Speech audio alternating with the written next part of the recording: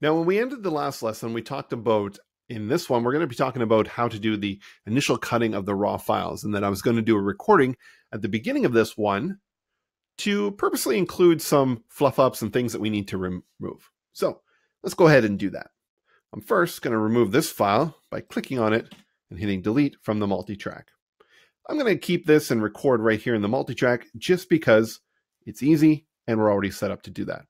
So let me record a sample file. Hi, and welcome to this episode of the Digital Podcast Podcast. Um, we're going to be talking about things that you can do to improve your. No, we're not. We're going to be talking about things that you can do to improve the way that you produce your own podcast. Okay, so as you were listening to that, you saw that I purposely added in some things that need to be removed. And this is very common of the type of things that you may find within an actual audio recorded file. So now what we're going to do is we're always going to be initially cutting those things out in the waveform view. So let's go ahead and double click on this and we're going to open that up. I'm just going to throw my headphones on so I can hear the audio playback as we go through this and you'll be able to hear it along the way. Now, when you got a long file, this one's not too bad. It's only a couple seconds, so it displays really great on this screen.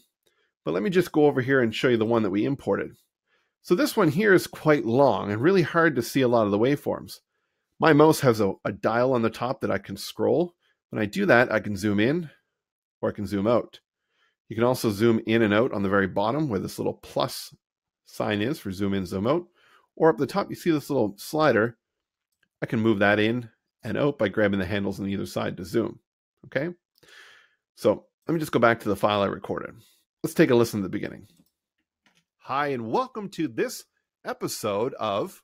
Okay, so welcome to this episode. The first thing at the top is there's a little bit of space here. We're going to highlight that by clicking and dragging. We're going to click delete. Hi, and welcome to this episode of. Okay, and now I thought for a minute what I was going to say. There's space here. And here I'm just going to remove that. Let's see what it sounds like. Mode of the digital podcast podcast. Okay. Now I had an um. Um.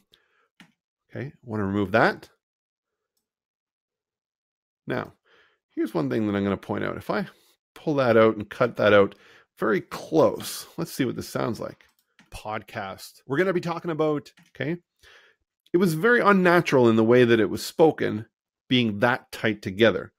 So I'm just going to go and I'm going to an edit undo just to bring that back.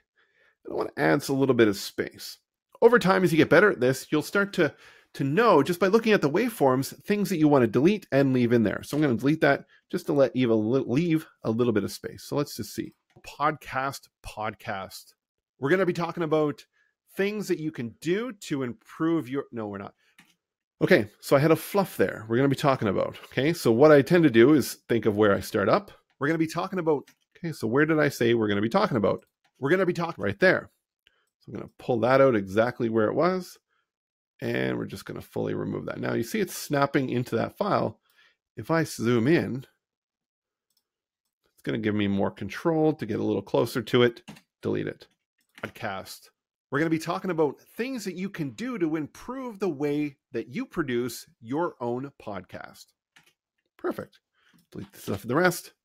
And that right there is a great edit on a file that you can use. So what you're going to do is you're going to go through any interviews that you have and you can cut out the ums, the ahs, the pauses, the redos, and things of that nature.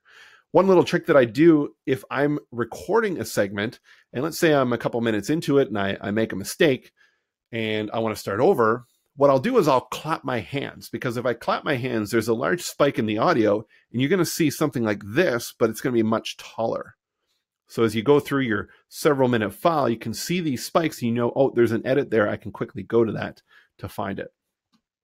So that's what I would do with all the different files that I'm going to be working with. And you just go through the kind of like the uh, the cutting block and, and chop out the things that you don't want and make sure the files are as great as they can be for you to work with when we start to get into the next lesson, which we're starting to layer and assemble our podcast. We'll see you there.